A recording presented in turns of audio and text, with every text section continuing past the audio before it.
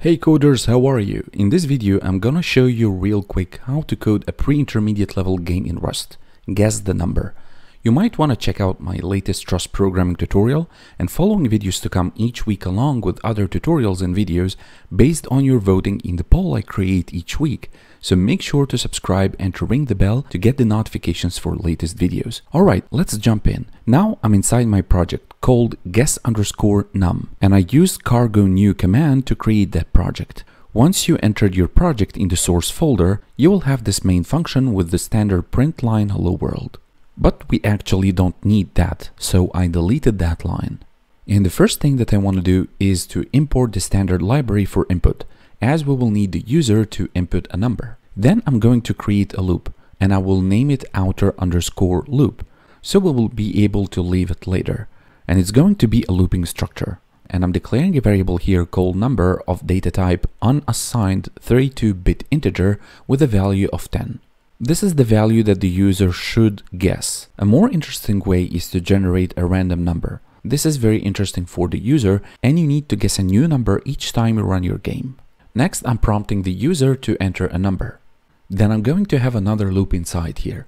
And I'm declaring a new mutable variable that's going to contain a new empty string. And then I want to pass a reference where we're going to store the string which we will enter. And that's why I've imported here above the standard input library. And that standard input is going to read the line of the line that's going to be empty. And basically we are saying that any input the user is going to enter through the standard input.read line. And inside we're going to pass the line argument. This is going to be our input.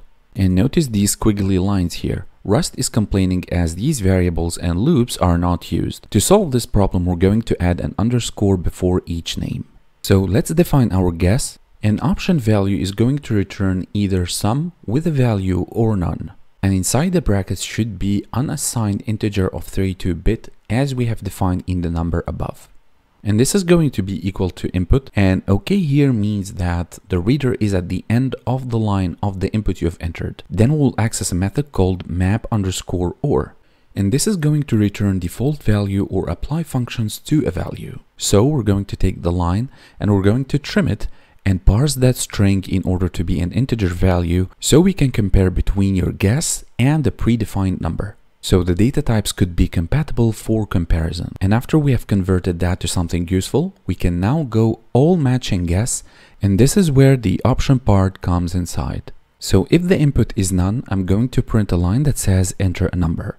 And if some number is entered, then we're going to compare between your input and the number that's predefined, which is 10 in our case. If so, then we're going to print a line that says bravo, you guessed it. And then we're going to break out of the loop. That's why we have defined above this outer loop. So in case the match is correct, we're going to break out of it. So if your input is less than the number that's predefined, which is 10, I'm going to print too low.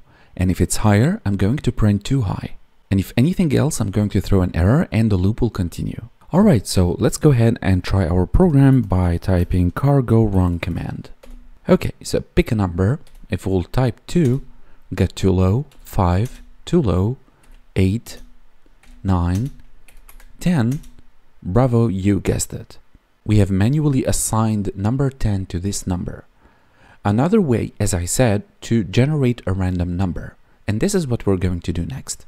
So the first thing that I want to do is to import the random range dependency. Not only that, but we'll need to go to cargo.toml in order to include this dependency in dependencies. Go ahead in this file, cargo.toml, and include in dependencies rand 0.8.3. And this important step will build actually in cargo.lock the getrandom package. Now, instead of having this predefined number 10, we're going actually to create a dynamic one. This number will be of integer 32 instead of unassigned 32. Deliberately, I did that in order to show you the error that will occur when we will execute the program. If you have defined in your variable i32, then you will need to define in the option also i32 and vice versa. Now this integer has an access to thread range inside the random package dot generate range from 1 to 15. So we're going actually to generate a random number from 1 to 15. This will be more interesting. And notice here below, the number is complaining because the data types are not compatible. In the option, it's U32, and up here above defined I32.